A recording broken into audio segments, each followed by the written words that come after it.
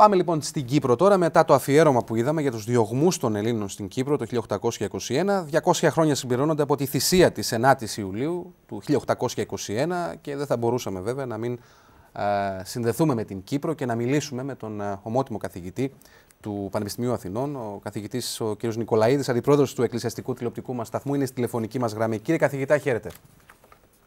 Καλημέρα σε όλους. Να είστε καλά. Λοιπόν, 200 χρόνια συμπληρώνονται από τη θυσία αυτή, τότε που ο Αρχιεπίσκοπος Κυπριανός, οι Μητροπολίτες, οι ανώτεροι κληρικοί, οι πρόκριτοι και το μαρτύριο βέβαια αυτό α, που έλαβε χώρα τότε και έθετε τα θεμέλια, θα λέγαμε, της ελευθερίας της Κύπρου, έτσι δεν είναι; Οπωσδήποτε. Ε, συμπληρώνονται ακριβώς 200 χρόνια από τότε, από εκείνη την αποφράδα μέρα. 1821 ήταν τότε διοικητής της Κύπρου ο Κουτσούκ Μεχμέτ Καϊναρτσί όπως λεγόταν ένας που είχε λέει μάλλον ιστορική όψη άγριου θηρίου παρά ανθρώπου. Και επειδή ξεκίνησε η επανάσταση στον ελλαδικό χώρο, φοβόταν μήπως ξεκίνησε και στην Κύπρο η επανάσταση. Βέβαια η αλήθεια είναι ότι επισκέφθηκαν την Κύπρο φιλική και προπάντων ο Κανάρης ε, προσάραξε τι περιοχές της σημερινής Κερίνιας, που είναι κατεχόμενη δυστυχώς σήμερα από τους Τούρκους. Είχε επικοινωνία με τον και άλλη φιλική μαζί με τον Αρχιεπίσκοπο τότε, τον Εθνάρχη των Κυπριανών. Και μάλιστα σώζονται δίπλα από την Αρχιεπισκοπή στον χώρο του λεγόμενου Παγκυπρίου Γυμνασίου ή της λεγόμενης τότε Ελληνικής Σχολής Λευκοσίας, την οποία το 1912 εγκαινίασε ο Κυπριανό, 1812 ο Κυπριανός, υπάρχει μέχρι σήμερα η λεγόμενη κρύψη των φιλικών. Και τότε υπήρχαν δύο απόψεις. Η μία είναι να συμμετάσχει ε, στο επαναστατικό αυτό κίνημα και η Κύπρος. Ο Κυπριανός είχε την άποψη ότι η Κύπρος λόγω της αποστάσεως της από τη μητέρα πατρίδα δεν μπορεί να επαναστατήσει και διότι γειτονιάζει και με την Τουρκία. Και έτσι λοιπόν μάλλον έμεινα στην απόφαση να απελευθερωθεί ο, η μητέρα πατρίδα και στη συνέχεια να βοηθήσει και την θηγατέρα Κύπρο. Τότε λοιπόν ο Κανάρης και οι άλλοι φιλικοί διέδωσαν κάποια επαναστατικά φυλάδια και δυστυχώς κάποια από αυτά έπεσαν στα χέρια του Κουτσούκ Μεχμέτ Καϊναρσί, ο οποίος ζητούσε πράγματι ευκαιρία να εκδικηθεί Έλληνε τη Κύπρου γιατί είχε ξεκινήσει η επανάσταση στον ελλαδικό χώρο. Και στέλνοντας φυλάδιον αυτό στην υψηλή πύλη, στον τότε ε, Σουρτάνο τον Μαχμούτ, ζήτησε να παιδέψει διακεφαλικής τιμωρίας όσους βρει ενόχους. Και άρχισε λοιπόν να εγκαινιάζει αυτό το φυρμάνι το οποίο είναι από την υψηλή πύλη, με το να σκοτώνει κάποιους προκλήτους της Λευκοσίας και άλλων περιοχών και μεταξύ των άλλων να οικειοποιείται την περιουσία τους. Να δημιουργεί την περιουσία. Ο Κυπριανός διαμαστηρήθηκε ο Αρχιεπίσκοπος τότε ότι γιατί σκοτώνεις τον κόσμο και του είπε: Εσύ μη φοβάσαι, ούτε μία σπάθη δεν πρόκειται να θίξει τον τράχυλό σου. Δεν εννοούσε βέβαια να μην τον σκοτώσει. Οπότε έστειλε ανθρώπους με διαταγές κλπ να συγκεντρωθούν στη Λευκοσία οι Μητροπολίτες, οι ηγούμενοι των μονών, των μεγάλων μονών της Κύπρου και οι πρόκριτοι. Και όσους ο ίδιος έκρινε, οι πιο πολλοί δεν ήξεραν τι τους θέλει στη Λευκοσία. Όταν λοιπόν μαζεύτηκαν στη Λευκοσία, δεν να κλειστούν οι πύλε της πόλεως, τους οδήγησε στο Σεράγιν, εκεί που ήταν το, ο τόπος διαμονής, το παλάτι, θα λέγαμε σήμερα, του Τούρκου διοικητή, και μπροστά στα έκπληκτα μάτια όλων ανακοινώνει ότι έχω από την υψηλή πύλη Φιρμάνη να παιδεύσω διακεφαλικής τιμωρίας όσους κατά την άποψή μου ε, βρίσκονται ένοχοι να συμμετάσχουν στην επανάσταση των Ραγιάδων. Εκεί τότε έβαλε φυλακή τους τέσσερις Μητροπολίτες, τον Πάφο Χρήσαθων, Κιτίου Μελέτιων, Κυρινία Λαβρέντιων και τον Αρχιεπίσκοπο Κυπριανό. Και τότε ο Πασάς της Λάρνακο, ο λεγόταν Κιόρογλου, επισκέφθηκε τον Κυπριανό στην φυλακή και του είπε να σε φυγαρεύσω. Να σου δώσω χρήματα, να σου δώσω ρούχα, να ντυθείς ως λαϊκός και να φύγεις. Είναι χαρακτηριστικό αυτό που γράφει Θανάση ο, ο εθνικός μας ποιητής, ο Βασίλης Μιχαηλίδης, στην Κυπριακή διάλεκτον, έφευκο κιόρογλου εγιό, γιατί αν φύγει ο φευκός μου, ένα γεννή θανατικόνης στους Ρωμιούς του τόπους. Παρά το γέμα των πολλών, εγκάλιον του Πισκόπου. Και τους οδήγησε στην Άντιν Ιουλίου, στο σεράκι της Λευκοσίας, είναι σήμερα στην κατεχόμενη δυστυχώς Λευκοσία. Αυτός παρακολουθούσε από έναν εξώστη πάνω στο σεράγι και αρχίζει εκεί τότε η εκτέλεση των 400 προκρήτων, η οποία κράτησε δύο-τρεις μέρες, όχι μια ημέρα. Και για τον Κυπριανό, επειδή του ορκίστηκαν ότι δεν πρόκειται να του πάρει το κεφάλι, του είπε και λέει ο ποιητής εκεί, του λέει: Εγώ όμωσα πως έμπαιρνω ποτέ την κεφαλή σου. Εν όμωσα πως έμπαιρνω ποτέ μου τη ζωή σου. Έτσι λοιπόν για να τηρήσει δίθεν των όρκων του ο αιμοτυψής αυτός Τούρκος διοικητής, ο Κουτσούκ Μεχμέτ, των μεν Κυπριανών τον, τον εκρέμασε στο σελάκι της Λευκοσίας, τους δε άλλους Μητροπολίτες, τους τρεις τους απεκεφαλίσαν, όπως και άλλους προκρίτους. Και λέει ο ποιητής, το ματσεγιόν, το μακεγιόν που γίνηκε και οι Τούρκοι ελιπαθήκαν. Ένα πράγμα που είναι από καρκιά σε κρίμα. Ήταν πράγματι μια τραγωδία που συνέβη στην Κύπρο, διότι επακολούθησαν και η δίμηση των περιουσιών. Δηλαδή, επήρεν των ανθών της κυπριακής κοινωνίας, των εκκλησιαστικών ανθών, επήρεν των ανθρώπων που είχαν περιουσία και κατέσχεν την περιουσία τους. Και σήμερα, αν βαφκαλίζονται οι, Κύπ, οι Τούρκοι της Κύπρου, οι Τουρκοκύπροι, ότι ξέρετε έχουμε πολύ περιουσία εμεί, έχουν περίπου το 32% της κυπριακής γης, είναι από τις δημεύσεις που προέκυψαν μετά από τον αποκεφαλισμό και την εξόντωση πολλών προκρήτων. Μεταξύ αυτών και πολλοί ηγούμενοι των μονών. Σε κάλεσαν κάτω. Συγκεκριμένα ο ηγούμενος Ιωσήφ δεν μπορούσε να πάει λόγω ταλαιπωρίας κλπ. Τα αποκεφάλισαν μετά. Δηλαδή δεν είναι μόνο τη 9 Ιουλίου Θανάση που έγινε αυτή ας πούμε, η σφαγή στην Κύπρο. Και άλλες ημέρες. Και με δίμηση της περιουσίας. Ε, στη συνέχεια το βράδυ μπήκαν οι χριστιανοί, οι Έλληνες, πήραν τα σώματα τα νεκρά των και κοιμημένων και τα εκείδευσαν κάπου και σήμερα βρίσκονται στο λεγόμενο μαυσολείο που υπάρχει στο προάβλιο του Ιερού Ναού της Φανερωμένης. Είναι μια παλιά εκκλησία, παλιά μοναστήρι είναι εκεί, ήταν στην Λευκοσία και φυλάσσονται εκεί ως κοιμήλιον. Περίπου έτσι στα γρήγορα και στα σύντομα είναι το μακελιό που έγινε στις 9 Ιουλίου.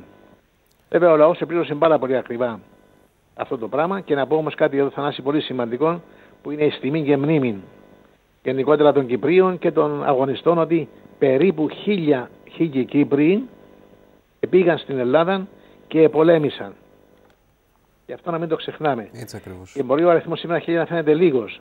Για τα δεδομένα της εποχής εκείνης ήταν πολύ μεγάλος, διότι σε μία απογραφή που έγινε το 1926, αυτοί οι οποίοι πλήρωναν κεφαλικό φόρο, δηλαδή φόρο για να δικαιούνται να έχουν το κεφάλι τους στους ώμους τους, ήταν 13.000. Βέβαια ήταν πολύ περισσότεροι οι κάτοικοι της Κύπρου γιατί το 1929 γίνεται δεύτερη απογραφή και φαίνονται να είναι 29.000 άρρενε. Που σημαίνει ότι όλος ο πληθυσμός της Κύπρου θα ήταν 60-65.000. Άρα λοιπόν ο αριθμός 1000 είναι πολύ μεγάλος. Αν συγκρίνει κανείς τον πληθυσμό της Κύπρου την εποχή εκείνη. Και πολύ καλά Δυστυχώς, κάνετε και το υπογραμμίζετε αυτό, ναι. ναι. Το λέω αυτό το πράγμα γιατί πάντοτε οι Κύπροι και στον δεύτερο Παγκόσμιο Πόλεμο και αλλού ε, έτρεξαν να βοηθήσουν τη μητέρα πατρίδα και ένιωθαν ότι αποτελούμε αναπόσπαστο τμήμα του ελληνισμού. Και μέχρι σήμερα αυτό το πράγμα. Ωστόσο, να πω ότι ε, έστειλαν και γράμμα μετά στον Καποδίστριαν που ζητούσαν να γίνει πόλεμος, να γίνει μάλλον ε, αγώνας για να ενταχθεί και Κύπρος κλπ. Και, και, και μείναμε δυστυχώς θανάσει σε αυτό το αίτημα, το ένωση και μόνο ένωση με την Ελλάδα, που ήταν το σύνθημα του αγώνα 55-59, για να φτάσουμε μέχρι σήμερα, για να φτάσουμε μέχρι σήμερα και να και να λέμε τώρα είμαστε μακριά από τον ελληνικό κόσμο. Μακάρι τώρα ε, έχουμε τους Τούρκους πάλι στην Κύπρο. Μην το ξεχνάμε αυτό το πράγμα. Απεώνων Έχουν τουρκοποιήσει όλη την Βόρεια Κύπρο. Θανάση. Ε, κουβαλούν συνέχεια επίκους από την Τουρκία. Έχουν αλλάξει τα ονόματα όλων των χωριών και των πόλεων της κατεχόμενης Κύπρου.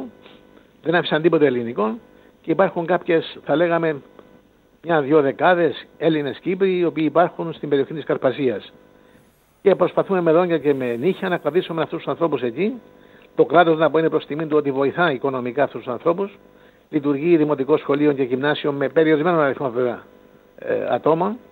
Και κάποια στιγμή αυτοί οι άνθρωποι μη έχοντας και έπειτα πώς θα ανεχτήκαν στου Τούρκου σήμερα. Οι αυθαιρεσίες τους δεν, δεν, δεν, δεν περιγράφονται, Θανάση. Δεν περιγράφονται. Έτσι. Ο απεώνων δυνάστης, κύριε Νικολαίδη, ο Τούρκο. Μέχρι και σήμερα κατοχή το μεγάλο μέρος του νησιού. Ε, Μαστιλίδη. Έχουν κρατη... Σήμερα κρατούσαν το 35% περίπου του νησιού. Έτσι. Και σημείωσε κάτι άλλο, Θανάση, κρατούν το 70% των πλουτοπαραγωγικών πηγών της Κύπρου. Yeah. Ναι. Έχουν κάνει αεροδρόμια, έχουν φέρει αεροπλάνα εδώ, τρόμου κλπ. κλπ. Έχουν 40.000 στρατών που είναι ετοιμοπόλεμο με επιθετική διάταξη για την Κύπρο. Και θα έρθει αυτές τις μέρες στην Κύπρο και ο Ερστογάν. Mm.